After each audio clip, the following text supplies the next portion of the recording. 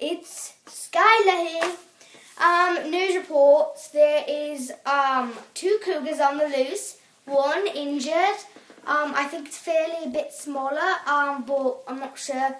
Um, and another one, uh, a young girl got chased by one um, around Mission, um, around the um, uh, yeah, what do they call it? Um, Griner Park. Uh, so right across from Albert McMahon.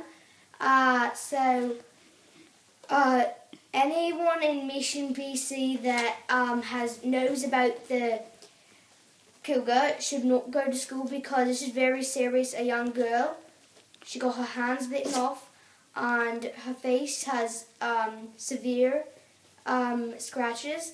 So make be sure to be careful. Um, make sure your children, um, and if you're a child, then you stay inside and keep your animals close by. If you need to take them out, make sure you have them either on a leash or you have supervision. Make sure they know. Um, and if your um, dog or cat or something goes missing, then around and um, then you probably had luck because you probably got eaten by cougar.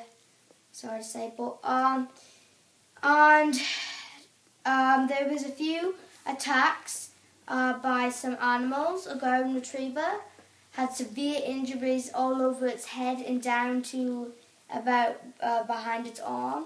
Um, but I think it's probably okay now. There was a few others, probably. Um, I think um, many cats went missing. Um, but other than that, just make sure don't even if you look on the global news and it says call the RCMP, they're probably just going to either kill it or take it to somewhere else. But they have to put it to sleep before. So make sure you call the life safety. Um, so just look it up on your computer because obviously if you can watch this, then uh, you can look it up. So please, please look, um, do that. Uh, do not, say, if you see the cougar, do not call the RCMP or it will probably be killed, both of them.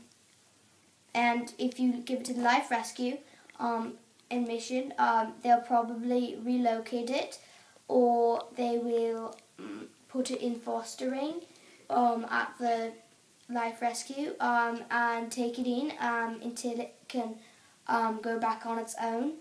They might make a habitat for him and keep him, but then, but who knows? Anything could happen. So please, if you see this, these cougars, any of them, call life rescue. Do not call the RCMP. Do not call them because if because the poor animals they don't know they're just scared of you they're just scared of you. They think that you're going to do something to them. That's why they're doing something to you. Just be careful. Okay? Please. Thank you. And today. cut.